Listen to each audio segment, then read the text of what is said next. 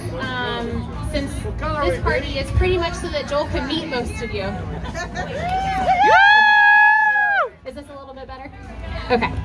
Um, so thank you everybody for coming. You know, we're, we're really happy to be here and for Joel to get to meet a lot of my West Coast family that he hasn't met yet. So, so much for coming. So excited. so excited for you all to be here and to end the day celebrating, hanging out, catching up. Um, we love you guys so much. We almost didn't make it here. Um, so our flight was at 9, we are flying out of Atlanta at 9 last night and it got canceled.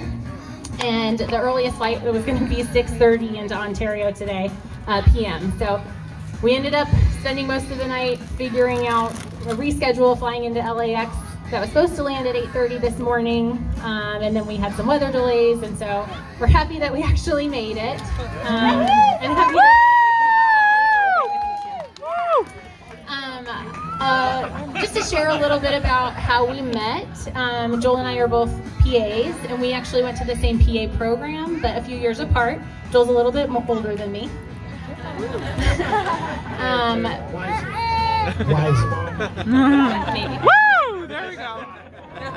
um, and I had finished a rotation with a friend of mine, and then she went on to meet Joel, and then gave me a call and said, "I, you know, I met this guy. It's kind of funny, but I think I think you guys would just really mesh. So why don't you give it a try?" So. Um, we talked for a few weeks, decided it was worth it to meet in kind of the middle of COVID, um, and then, you know, the rest is history.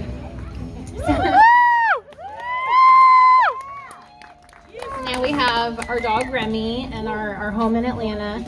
Um, and they're finally settling into it after about a year of living there. But um, happy to have anybody visit at any time. We've got two guest bedrooms ready for you. They're very nice. We, to answer some questions about the wedding, we don't know where or when yet. um, we are thinking Colorado at this point, and sometime 2024, but, but details to come. We're not sure yet.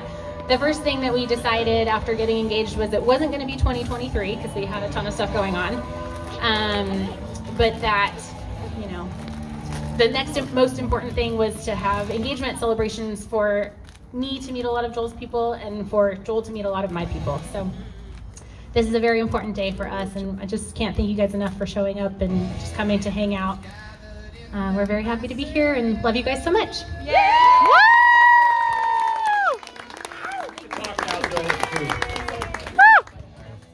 Yes, we're gonna eat soon, right after Mr. Moon comes up here and gives us a little prayer, but they're hot dogs, make your own hot dogs. There's corn dogs, there's grilled chicken, a lot of homemade desserts as well. So please, please eat it all. Eat it all. Um, Mr. Man.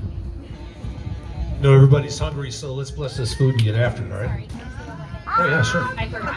I forgot. I just want to give a special thank you to everybody who helped set this up for us today. Particularly Tina for my mom for helping coordinate everything, and Cynthia as well, um, the three of them, and Gigi too. Also, G and Nicole. And it was Gigi's birthday yesterday, so wish her happy birthday. And Michael was Which Michael? Which Michael? But the little special one. thank you to everybody for helping set this up. All right. Dear Heavenly Father, we're so grateful to be able to gather together as family and friends today to enjoy this special day and and celebrate in this path forward for Britt and Joel. We pray that Thou will continue to watch over us today and uh, just let us have a great time and let everybody get home safe. Please uh, bless this food that it be nourish and strengthen our bodies and our minds in all possible ways.